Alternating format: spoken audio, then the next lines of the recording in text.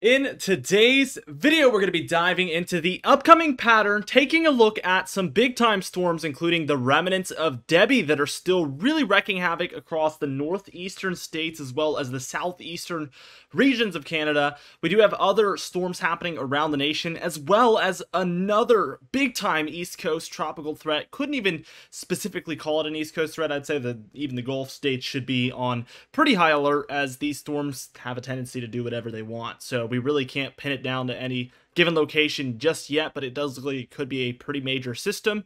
On top of all of these things, we're also going to be talking about that big time cold air that is on the way and really ongoing already uh, for a lot of areas. This is going to bring a big fall time like temperature swing uh, that is going to give us a sneak peek as to what we can have to, to expect over the coming weeks. Very, very exciting stuff.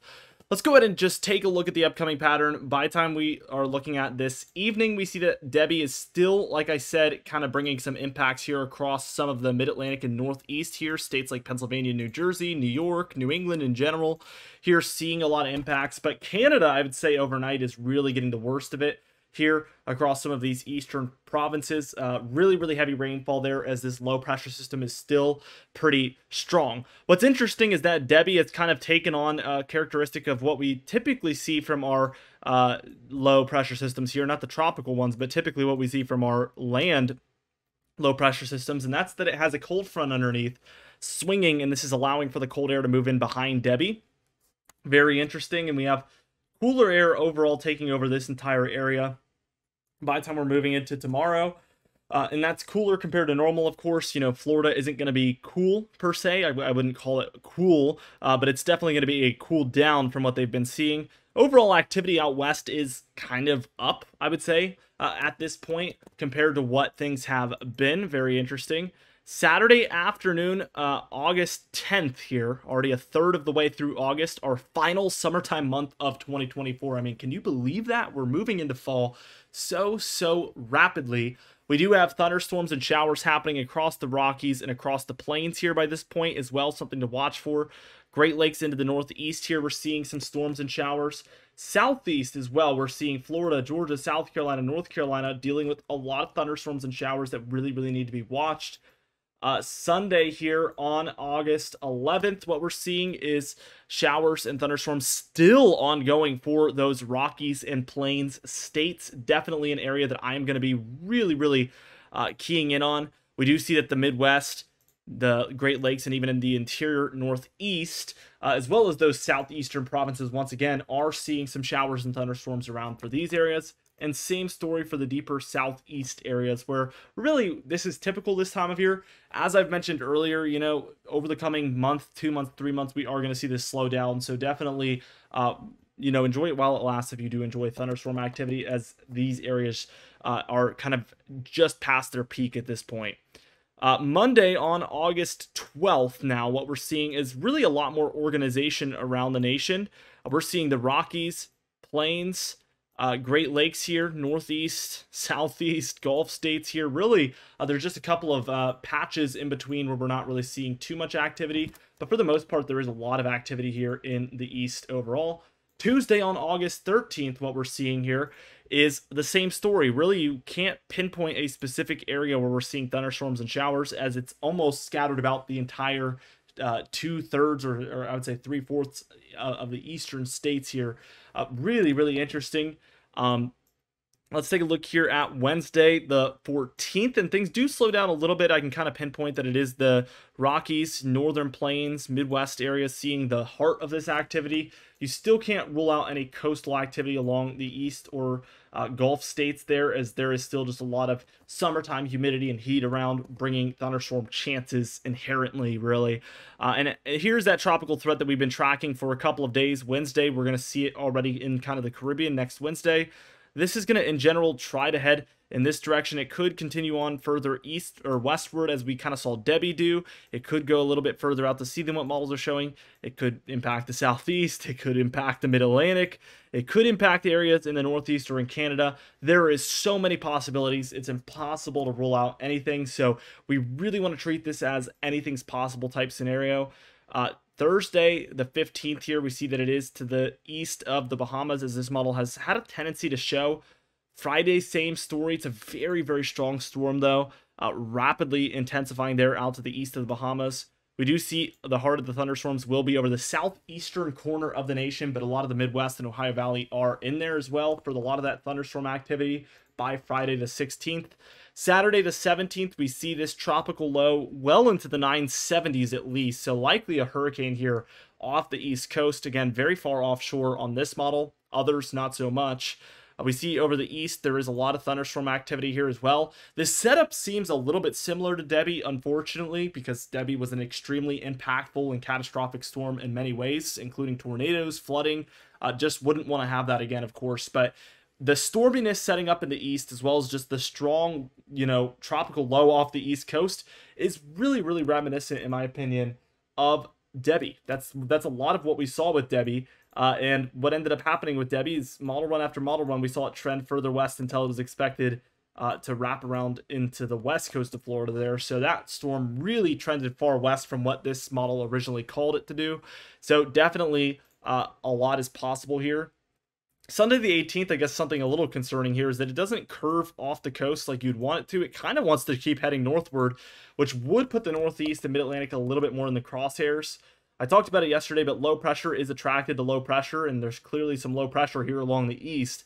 You would expect this storm to want to interact with this as opposed to head towards higher pressure. So that is something to think about Sunday and then into uh, Monday the 19th here. I mean, that is really too close for comfort here. A strong tropical low there just offshore of the northeast and mid-Atlantic.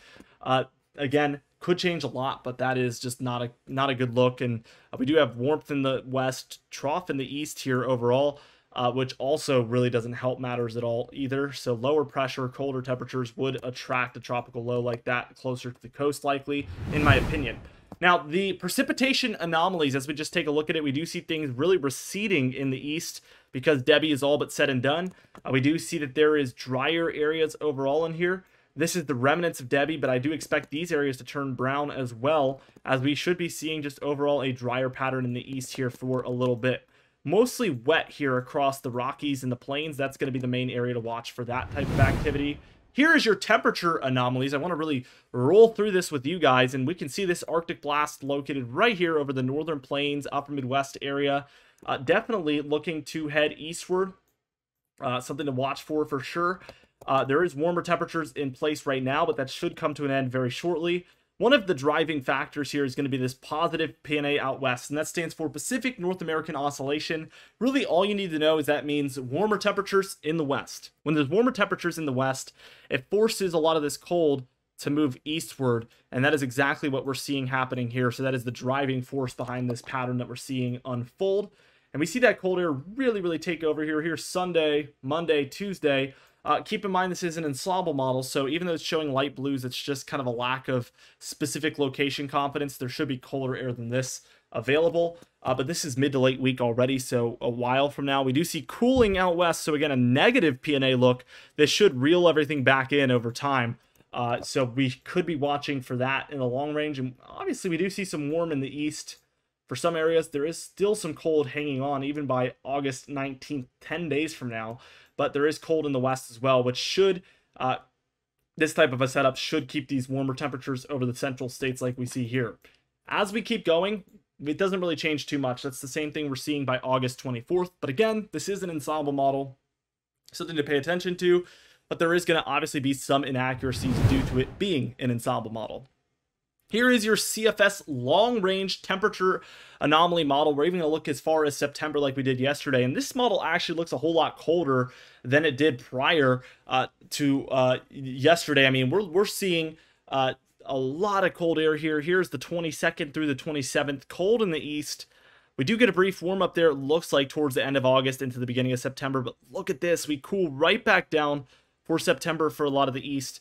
Uh, we do see plenty of cold air to work with in the east, even by late September, which would be quite cool, but also for the west. So negative PNA combined with this cold in the east. You might wonder what that usually causes, and it's exactly this. Warm ups in the central states.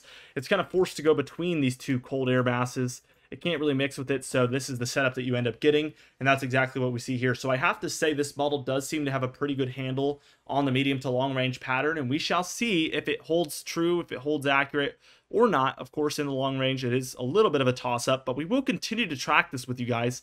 Uh, so be sure to subscribe, by the way, of course, like always. Uh, we do see here in the tropical Atlantic, we have the remnants of Debby, uh, but also we have a 60% chance of tropical formation there uh, over the next seven days in our MDR, which is short for main development region there between Africa and the Caribbean. We see that code orange, 60% chance, better than a coin toss there that we see this develop into a system uh, as it approaches that kind of eastern Caribbean area. Now, keep in mind this is a little bit further south than what we see the European model showing, so uh, definitely this would put the Gulf and the East Coast a lot more of a risk and, and a lot more threat.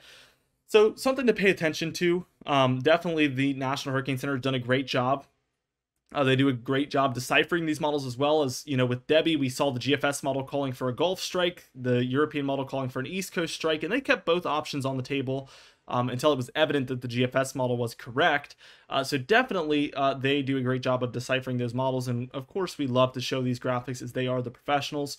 Also, you know, you can feel free to check out the National Hurricane Center website. I highly recommend everybody familiarize themselves actually with this website as it's extremely useful if you do live in areas that do see tropical impacts.